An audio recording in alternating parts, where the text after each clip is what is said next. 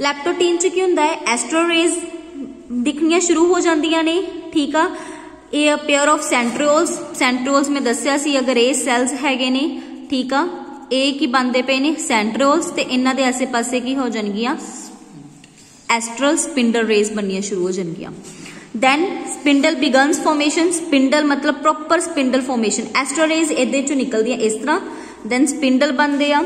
ਕ੍ਰੋਮੈਟਿਨ fibres R ਲੌਂਗ ਲੌਂਗ ਹੁੰਦੇ ਆ fine filament ਹੁੰਦੇ ਆ ਡਬਲ ਹੁੰਦੇ ਆ and each consist of two identical chromatid ਦੋ ਦੋ ਆਇਡੈਂਟੀਕਲ ਕ੍ਰੋਮੈਟਿਡ ਦੇ ਵਿੱਚ ਇਦਾਂ ਹੁੰਦੇ ਆ।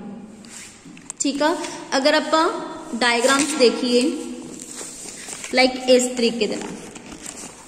ਸਾਡੇ ਕੋਲ ਹਰ ਇੱਕ, ਜਿਵੇਂ ਹੁਣ ਇਹਨਾਂ ਨੇ ਕਿਹਾ ਲੈਪਟੋਟੀਨ ਠੀਕ ਆ ਡਬਲਿੰਗ ਹੋਈ ਹੋਈ ਆਲਰੇਡੀ ਦੋ ਦੋ ਕ੍ਰੋਮੈਟਿਡ ਜਿਹੜੇ ਥ੍ਰੈਡ ਉਹ ਆਪਸ 'ਚ ਕੀ ਹੋਏ ਹੋਏ ਨੇ ਡਬਲ ਹੋਏ ਨੇ। This is a central rays central ਹੈ ਗਿਆ ਦੇਖੋ ਐਸਟਰਲ ਰੇਜ਼ ਨਿਕਲਣੀਆਂ ਸ਼ੁਰੂ ਹੋ ਗਈਆਂ ਨੇ, ਠੀਕ ਆ? ਆਫਟਰ ਦੈਟ ਕਹਿੰਦੇ ਕ੍ਰੋਮਟਿਨ ਫਾਈਬਰਸ ਡਬਲ ਹੋ ਗਏ ਲੌਂਗ ਹੋ ਗਏ ਆਇਡੈਂਟੀਕਲ ਕ੍ਰੋਮੈਟਿਡ ਨਾਲ ਅਟੈਚ ਹੈਗੇ ਆ। ਡੀਐਨਏ ਰੈਪਲੀਕੇਟ ਹੋਣਾ ਸ਼ੁਰੂ ਹੋ ਜਾਂਦਾ ਹੈ ਠੀਕ ਹੈ?